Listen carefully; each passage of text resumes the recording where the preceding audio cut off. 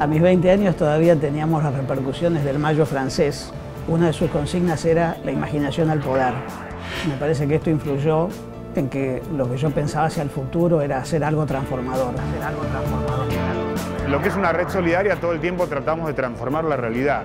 La realidad es dura, es compleja, es áspera. Entonces, como es dura, todo el tiempo estamos jugando partidos que empatamos o perdemos la mayoría. de eso se trata.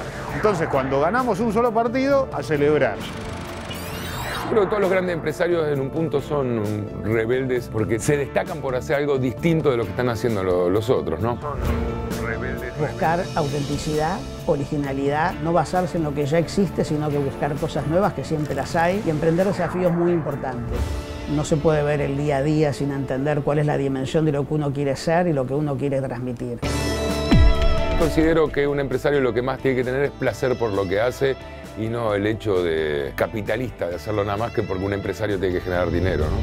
La red solidaria es muy, muy laica. Nosotros hacemos un canto al ser laico en el sentido de que muchos judíos, muchos evangélicos, muchos no creyentes, muchos católicos. Para nosotros, cuanto más distinto es el otro, más enriquecedor esta revolución solidaria y cultural. Cada generación intentó patear el tablero como pudo, con más ideología, con menos ideología, con más arte, con menos arte, en situaciones más críticas, más represivas, menos represivas. Ser joven significa hacer pendejadas. A veces de adulto no te gusta. Pero bueno, es lo que ha hecho que las cosas cambien de alguna manera. La revolución que viene, que es cultural, me parece que es muy heterogénea. Mucha gente que piensa, siente y tiene creencias distintas, pero junta, reunida.